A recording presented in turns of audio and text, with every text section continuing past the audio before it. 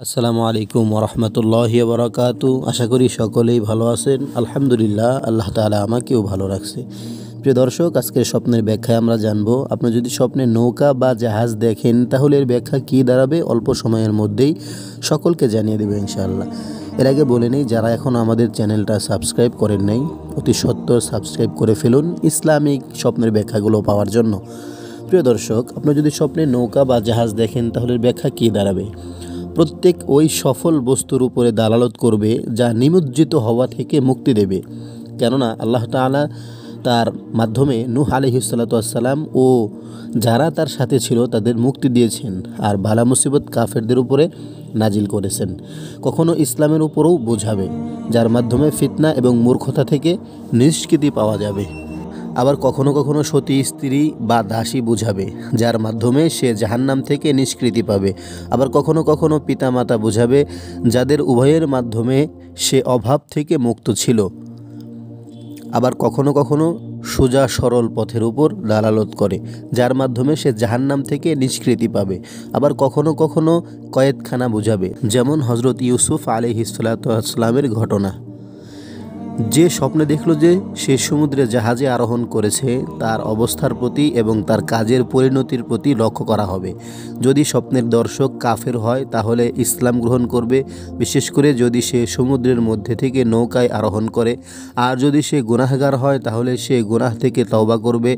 আর যদি ফকির হয়, তাহলে সে ধনী হবে। আর যদি সে অসুস্থ হয়, তাহলে সে সুস্থ হবে।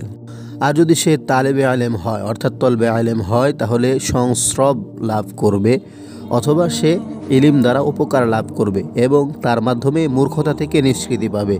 যেমন খিজির আলিহি সালাতাম এর সাথে হজরত মৌসা আলিহি সালাতাম এর নৌকায় আরোহণ। হজরত মৌসা আলিহি সালাতাম নৌকায় আরোহণ করে খিজির থেকে ইলিম অর্জন করেছিলেন। আর যদি ঋণগ্রস্ত ব্যক্তি হয়, তাহলে তার ঋণ আদায় করবে এবং তার দুশ্চিন্তা দূর হবে।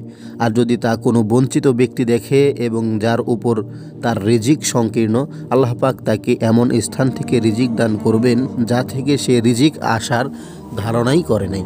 যখন নৌকা তাকে নিয়ে বাতাসের মধ্যে প্রবাহিত হবে, তাহলে তা কল্যাণকর বাতাসের উপর দালালত করবে এবং সুসংবাদবাহী ময়ূর এর উপর দালালত করবে।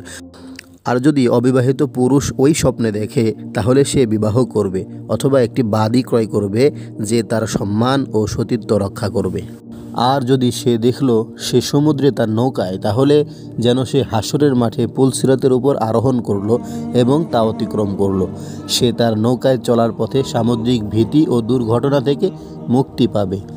আর যদি নৌকায় বন্দি অবস্থায় থাকে আর সমুদ্রের তীরে পৌঁছে যায় বা স্থলে অবতরণ করে, তাহলে অতি দ্রুত মুক্তি পাবে। আর যদি সে নৌকাকে স্থির দেখতে পায় এবং সামুদ্রিক ঢেউ থাকে উথাল পাতাল, তাহলে তার বন্দি জীবন স্থায়ী হবে।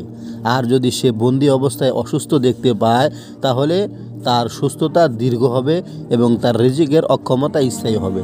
আর যদি সে তালবে আলেম হয়, এলেম অন্বেষণের অবহেলা করবে, বিশেষ করে যদি সে এটা শীতকালে হয় এবং সমুদ্রের কম্পনের সময় হয়। প্রিয় দর্শক, স্বপ্নে নৌকা বা জাহাজ দেখলে কি ব্যাখ্যা হতে পারে সবগুলোই আপনাদেরকে জানানোর চেষ্টা করেছি।